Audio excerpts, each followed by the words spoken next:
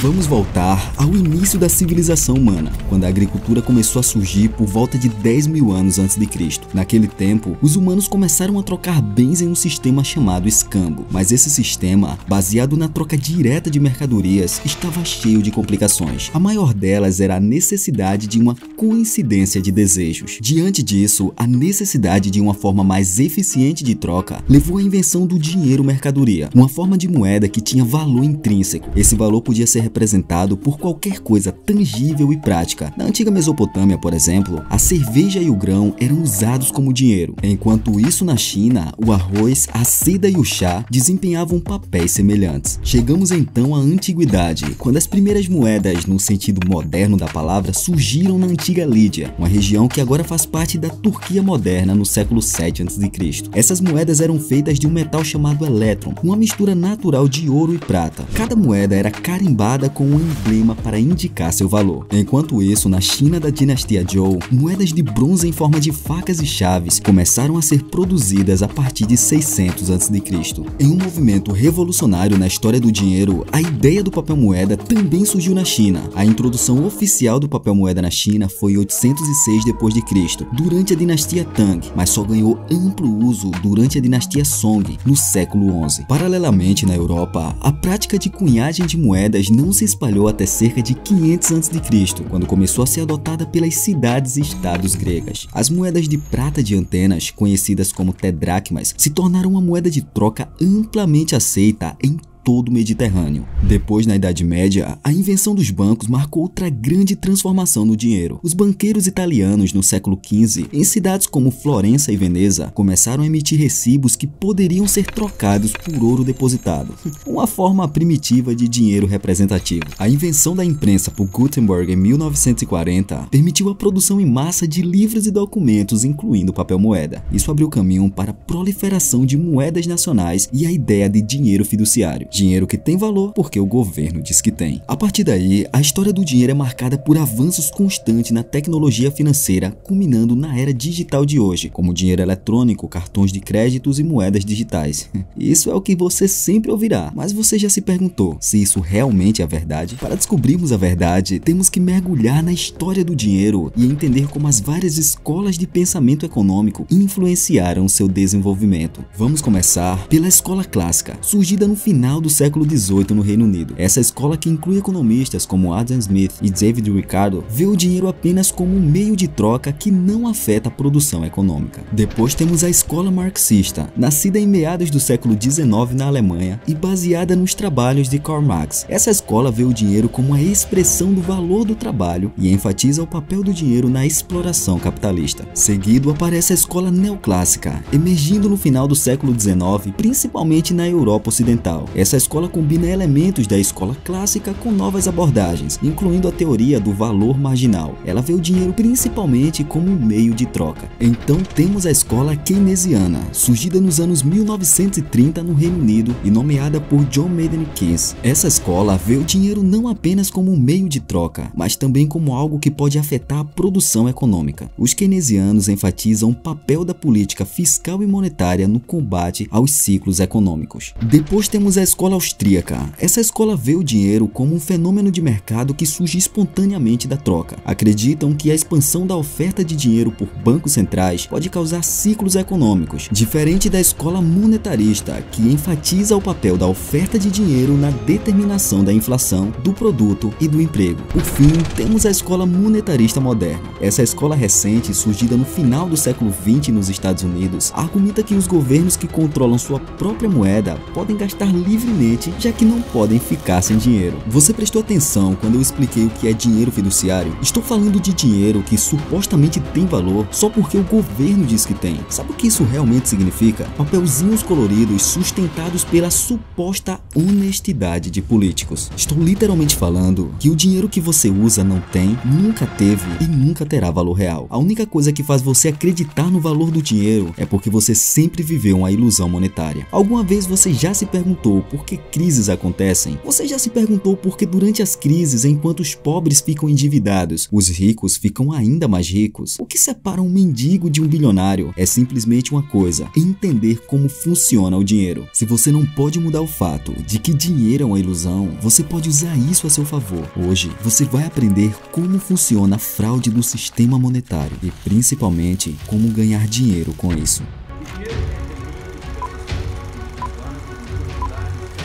Há muito, muito tempo, antes das moedas, dos bancos e do dinheiro digital que conhecemos hoje, havia o escambo. Naqueles tempos primitivos, as pessoas trocavam o que tinham em excesso pelo que precisavam. Imagina um caçador com carne em excesso encontrando um agricultor com frutas a mais. Eles trocavam entre si, ambos satisfeitos, ambos ricos, à sua maneira. À medida que as sociedades evoluíam, eles começaram a perceber o valor em certos itens que eram difíceis de encontrar ou produzir. Assim surgiu surgiu o dinheiro commodity. Ouro, prata, cobre e até mesmo conchas, cada um com seu valor intrínseco, tornaram-se meios de troca universais. E havia também o sal, tão valioso naquele tempo que começou a ser utilizado como forma de pagamento, sobretudo para os soldados do Império Romano. E é daqui, por curiosidade, que a palavra salário se origina, do latim salário, indicando o pagamento feito em sal. Mas o que é esse valor intrínseco que mencionei? O valor intrínseco é o valor que um bem tem em si mesmo. Por exemplo, o ouro tem um valor intrínseco porque é um metal precioso, usado para fazer joias e outros itens de valor. Da mesma forma, o sal tem valor intrínseco porque é usado para conservar alimentos e para a dieta humana. No entanto, embora essas commodities fossem uma evolução em relação ao escambo, ainda havia problemas, como por exemplo saber se o pedaço de ouro que recebeu era realmente puro. E como determinar quanto valia exatamente? Foi a partir desse desafio que a inovadora civilização de Lídia na Ásia Menor deu um passo gigante por volta de 600 a.C.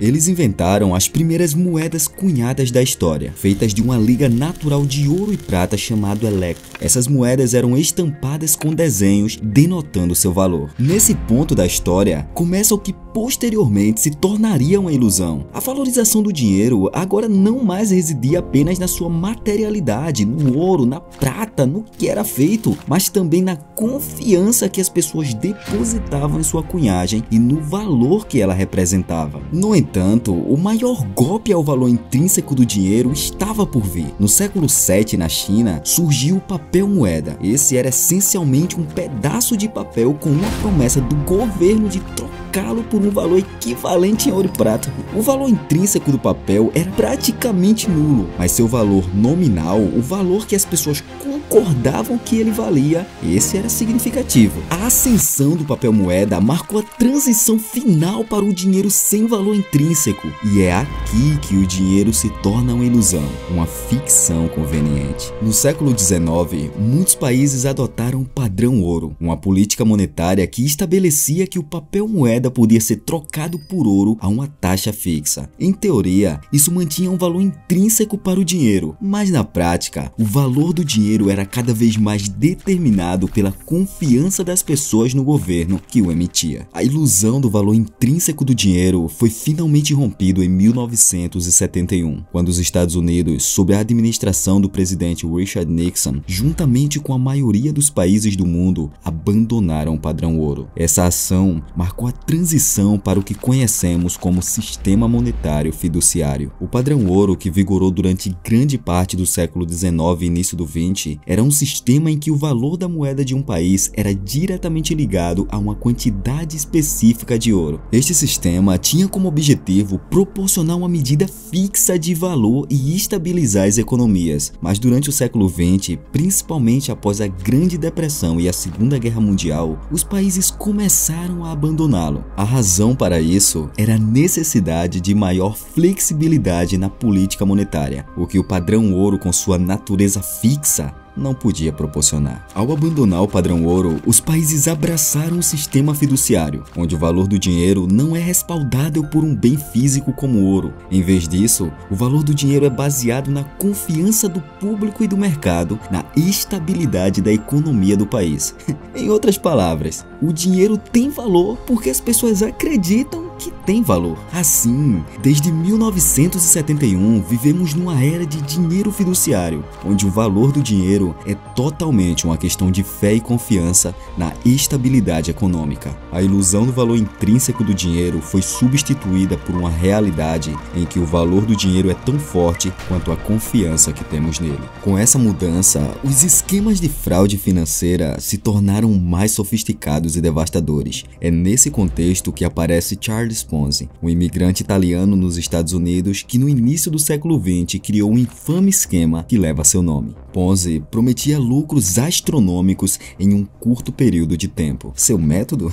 Simples e catastrófico, ele usava o dinheiro de novos investidores para pagar os antigos. Funcionava enquanto novos investidores continuavam chegando. Porém, quando a entrada de novos investidores diminuiu, o esquema desmoronou, revelando um vazio financeiro enorme. Ao contrário de um esquema de pirâmide, onde os participantes ganham dinheiro recrutando mais membros, um esquema Ponzi depende da ilusão de investimentos legítimos. O operador pode afirmar que está investindo em imóveis, ações, obras de arte ou qualquer coisa que soe impressionante e rentável, mas na realidade não há nenhum investimento, apenas o dinheiro de novos investidores pagando os antigos. O esquema Ponzi por si só já seria uma das maiores fraudes financeiras da história, mas aqui vem o choque. O nosso atual sistema financeiro é de muitas maneiras um esquema Ponzi legalizado. Os bancos operam sob o sistema de reserva fracionária, o que significa que eles podem emprestar muito mais dinheiro do que realmente têm em suas reservas. Aí está o verdadeiro golpe do sistema financeiro, talvez o mais engenhoso e destrutivo de todos, o sistema de reserva fracionária. Eu vou explicar. Os bancos, essas instituições aparentemente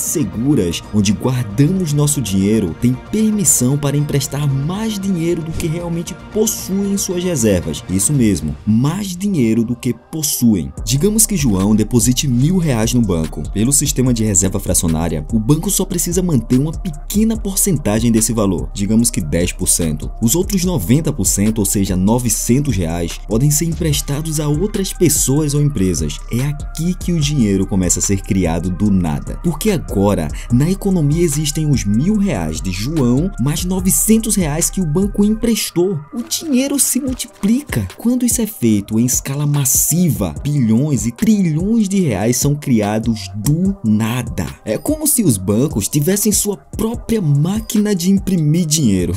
E o melhor, ou pior, né, dependendo do ponto de vista, é que isso é totalmente legal. Você e eu podemos ser presos se imprimirmos nosso próprio dinheiro, segundo o Código Penal Brasileiro, artigo 200 1989. Mas os bancos podem fazer isso todos os dias e ainda são protegidos por lei para fazê-lo. Só é injusto, só é errado. Talvez seja porque é. Paul Volcker, ex-presidente do Federal Research, o Banco Central dos Estados Unidos, uma vez disse que o sistema de reserva fracionária é a fraude bancária mais séria que já existiu. Palavras fortes de uma figura central no mundo financeiro. Mas e se todos decidirem retirar seu dinheiro do banco ao mesmo tempo. Bom, nesse caso, o banco iria à falência, porque não possui todo o dinheiro que deve a seus clientes. Isso nos leva à conclusão de que todo banco está tecnicamente falido, certo? Errado.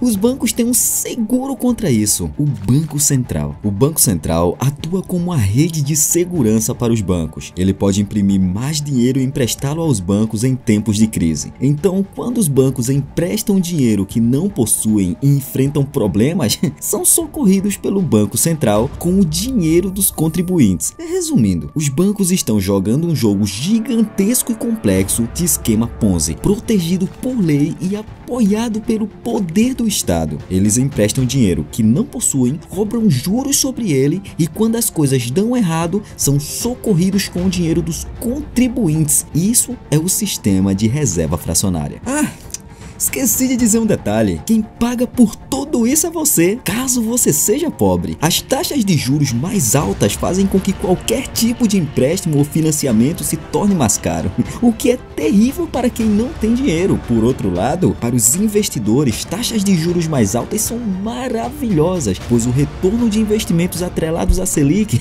aumenta. Para uma família que ganha muito pouco, Né? Isso é a diferença entre ter carne na mesa ou não, porque tudo que eles ganham eles acabam consumindo. Para alguém de classe média, você é afetado na cesta de consumo, mas você já tem sua casa, você já tem algum investimento que vai ser corrigido pela inflação. E Exato. se o teu patrimônio é muito grande, que é o caso dos ricos, você tem um monte de investimentos que vão estar ganhando acima da inflação nesse cenário, vai estar comprando em empresas que têm o poder de remarcar preços, por exemplo. E aí, por mais que o preço daquilo aumente, o preço da sua casa aumenta, o preço do dólar que você tem aumenta, o preço das ações que você tem acaba aumentando ao longo do tempo. Então, por conta disso, o rico acaba ficando mais rico nesse cenário, enquanto o pobre, ele fica mais pobre efetivamente porque está consumindo muito menos por conta do avanço dos preços. No início do século XXI, sob a fachada de confiança e da estabilidade econômica, um desastre financeiro global estava sendo forjado pelas mãos de verdadeiros demônios do mercado. Gigantes como Lehman Brothers, Bear Stearns e Merrill Lynch, agindo como abutres no meio de uma multidão desavisada, se atolaram na promessa de lucros fáceis, alimentados por um mercado imobiliário inflado por eles mesmos. Esses filhos da puta, disfarçados de instituições seguras, concederam empréstimos hipotecários a pessoas que mal tinham condições de pagar. Esses empréstimos subprime, mais instáveis de que dinamite, foram empacotados e vendidos como títulos para investidores desavisados, a maioria formada por trabalhadores honestos que acreditavam na integridade dessas instituições. As agências de classificação, que supostamente serviam como guardiãs da estabilidade financeira, endossaram esses malditos títulos, dando a eles classificações AAA, indicando que eram seguros para investir. Na realidade, esses títulos eram bombas relógios financeiras prontas para explodir e devastar a economia global. E isso aconteceu. Em 15 de setembro de 2008, a bomba explodiu. Lehman Brothers, um dos maiores e mais confiáveis bancos de investimento do mundo, entrou em pedido de falência. Essa foi a maior falência da história dos Estados Unidos e marcou o início de uma crise financeira global sem precedentes desde a Grande Depressão de 1930. E quem pagou o preço por esse desastre? As pessoas comuns. Trabalhadores honestos, pessoas que confiaram na integridade desses bancos, perderam suas casas, suas economias de uma vida inteira e muitos até perderam seus empregos. O desemprego nos Estados Unidos atingiu o nível mais alto desde a Grande Depressão, com uma taxa de 10% em outubro de 2009. E os bancos, os verdadeiros causadores dessa merda toda, esses vagabundos foram resgatados pelo governo. O dinheiro do contribuinte, o dinheiro que você e eu trabalhamos duro para ganhar, foi usado para salvar esses canalhas de suas próprias decisões imprudentes e gananciosas. No dia 3 de outubro de 2008, o Congresso dos Estados Unidos aprovou Trouble Death Relief Program, um pacote de resgate de 700 bilhões de dólares destinado a estabilizar o sistema financeiro. Essa foi a mais pura demonstração da impunidade desse caso com o povo trabalhador. em resumo, esses filhos da puta dos bancos colocaram a economia mundial de joelhos e quando a merda atingiu o ventilador, eles foram salvos pelo dinheiro dos contribuintes e as pessoas comuns, os trabalhadores que mantêm esse país funcionando, foram os que realmente pagaram o preço. A crise financeira de 2008 expôs a ganância e a corrupção do sistema bancário tradicional e instigou um movimento em busca de uma alternativa. Embora o Bitcoin não tenha sido a primeira tentativa de criar um sistema financeiro descentralizado, ele se tornou mais bem sucedido, em parte graças ao clima financeiro turbulento da época. A ideia de uma moeda fora do alcance dos bancos e governos não é nova. Na verdade, ela data da década de 1980, com criptógrafos visionários conhecidos como cypherpunks sonhando com um futuro onde a liberdade financeira e a privacidade seriam soberanas. Entre eles estava o David Chan, que criou o eCash, uma forma primitiva de dinheiro eletrônico, e o Weizai, que propôs a ideia do B-Money, um sistema do dinheiro eletrônico sem a necessidade de um banco central ou governo. No entanto, essas ideias, embora revolucionárias, não conseguiram ganhar tração significativa na época. Ainda estávamos no alvorecer da era da internet e o mundo ainda não estava pronto para tais inovações. Além disso, essas primeiras moedas digitais enfrentavam problemas técnicos difíceis, como o problema de gasto duplo que ainda não haviam sido resolvidos. No entanto, a ideia de uma moeda descentralizada continuou a germinar na mente de criptógrafos e programadores ao redor do mundo. A necessidade de tal moeda ficou ainda mais clara após a crise de 2008, quando os bancos que eram responsáveis por gerenciar nossa economia mostraram ser não confiáveis. Foi nesse clima de descontentamento que o Bitcoin foi introduzido ao mundo. Em 31 de outubro de 2008, um indivíduo ou grupo sob o pseudônimo de Satoshi Nakamoto publicou o white paper do Bitcoin, apresentando uma solução para o problema do gasto duplo e propondo uma moeda totalmente descentralizada e livre do controle de qualquer governo ou instituição. O Bitcoin não era apenas um desafio à autoridade dos bancos e governos, era uma resposta direta à sua incompetência. Né? E aí eles falaram: bom, então vamos tornar miserável a vida do sujeito, para dificultar ao máximo ele mexer com o dinheiro. Né? Como eu digo, o dinheiro é a forma como o Estado controla a sua vida. Né? É o, o dinheiro é um monopólio, o Estado tem o monopólio sobre o dinheiro, né? ele emite esse dinheiro, ele quer rastrear esse dinheiro, ele quer controlar é tudo, ele inclusive desvaloriza o seu dinheiro, né? e, e é assim que ele controla a sua vida. Ele até decide com que moeda você vai receber seu salário. Então é muito bom que hoje a gente tenha moedas ah, como o Bitcoin, por exemplo, que é essas sim são o verdadeiro dinheiro, não um dinheiro que depende de banco central, de burocratas, né? Moedas descentralizadas, totalmente livres de banco central, governo, etc. Né? Existem até moedas digitais é, depois do que o Bitcoin apareceu que são feitas para serem completamente anônimas. Isso é o pior pesadelo para qualquer jurista, para qualquer político, para qualquer estatista. Eles vão ficar desesperados. Como é que a gente vai lidar com tanta tecnologia, com tanta liberdade? Que absurdo ali a a tecnologia dando liberdade para as pessoas, como que a gente vai controlar, controlá-las, né? Então, no fundo, é tudo uma desculpa para controlar a sua vida. A melhor forma hoje para você se proteger é através de Bitcoin. Você não precisa nem de paraíso fiscal. O melhor paraíso fiscal é o Bitcoin e aí você está protegido, ninguém pode fazer nada com o seu dinheiro. E ponto final. Eu não vou me aprofundar sobre o Bitcoin e sua proposta inovadora de acabar com os bancos e a fraude do dinheiro baseado na suposta honestidade dos políticos, pois já fiz um vídeo onde explico tudo a respeito do Bitcoin. O maior problema é que mesmo quando as pessoas falam de Bitcoin, ainda fazem a conversão para a moeda fiduciária. As pessoas pensam em comprar Bitcoin barato para vender quando o preço subir. Ou seja, a proposta do Bitcoin é que um Bitcoin valha um Bitcoin. Em outras palavras, a ideia é que as pessoas parem de usar o papelzinho colorido baseado na suposta honestidade dos políticos, mas as pessoas continuam usando e veem o Bitcoin como uma maneira de ficar ricas no sentido da moeda fiduciária. Então, a proposta do Bitcoin de ser uma moeda descentralizada e livre de impostos está difícil de ser implementada, pois as pessoas insistem em usar o papelzinho colorido. E o maior exemplo disso é quando dizem que o Daniel Fraga ficou milionário com Bitcoin, pois ele retirou todo o seu dinheiro que tinha no banco e investiu em Bitcoin quando o Bitcoin ainda nem valia mil dólares. O argumento é que com a quantidade quantidade de dinheiro que ele investiu em Bitcoin, ele teria uns 100 milhões de reais atualmente. Entendeu? 100 milhões de reais! Os reais que foi o dinheiro que o Daniel Fraga tanto criticou e chamou de fraude e recebeu vários processos por isso. Ou seja, a proposta do Bitcoin é incrível, mas até as pessoas entenderem que um Bitcoin vale um Bitcoin, provavelmente levará bastante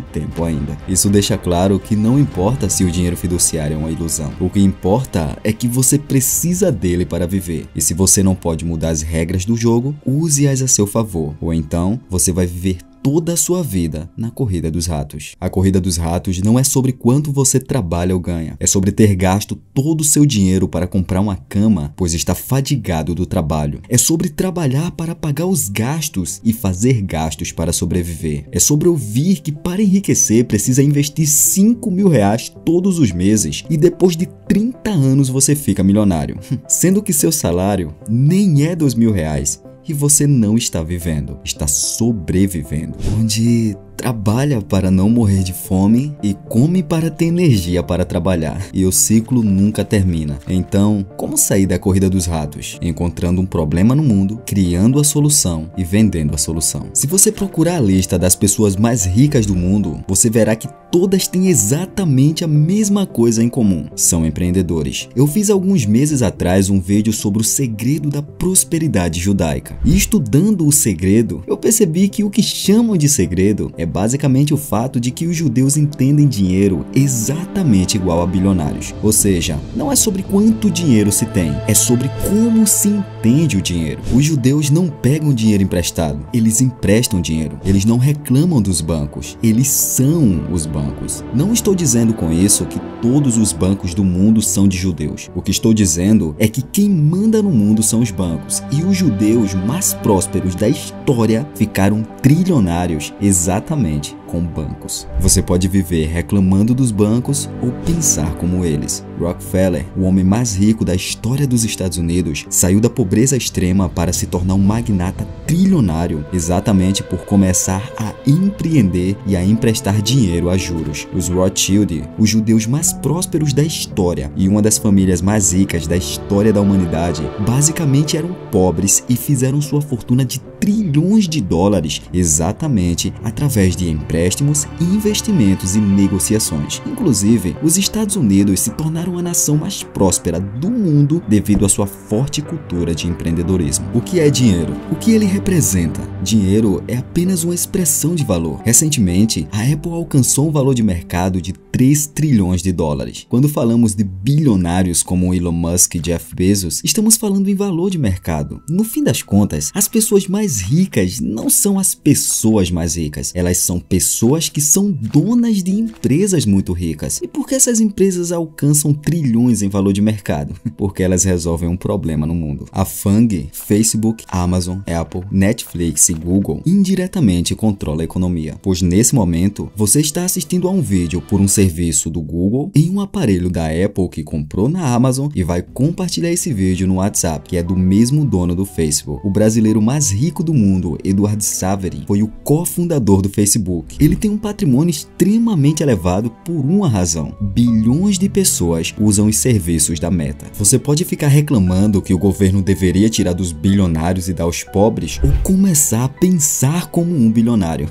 Afinal, se o governo tirar dos bilionários, não será para dar para os pobres. Eu não estou aqui para te dizer que o mundo deveria ser justo. Eu estou aqui para abrir os teus olhos para o fato de que ele já é injusto e você reclamar dos ricos não vai mudar a sua vida. O que vai mudar é entender que a única maneira de enriquecer é empreendendo e investindo. Esse é basicamente o segredo de todos os bilionários. Embora seja verdade que alguns enriqueceram sendo exploradores ou herdeiros, convenhamos que esse não foi seu caso. Então, o que você precisa é encontrar um problema no mundo, criar a solução e vender a solução. Você pode ser vítima da elevação da taxa de juros ou lucrar com ela. O tempo joga contra você. Aprenda a ganhar dinheiro enquanto dorme ou vai passar a vida inteira correndo atrás do dinheiro. E te garanto que o dinheiro é um corredor melhor que você. Pare de correr atrás do dinheiro. Procure problemas, encontre a solução e venda a solução. Nos próximos vídeos, estarei trazendo todas as maneiras de ganhar dinheiro no digital, assim como já saiu o vídeo curso completo ensinando como você pode fazer mais de 10 mil reais por mês apenas com o AdSense do YouTube. E em breve sairão as demais formas de ganhar dinheiro. Seja muito bem-vindo à nova era do canal. Se você chegou até aqui e entendeu a mensagem desse vídeo, comente o seguinte: pobreza não é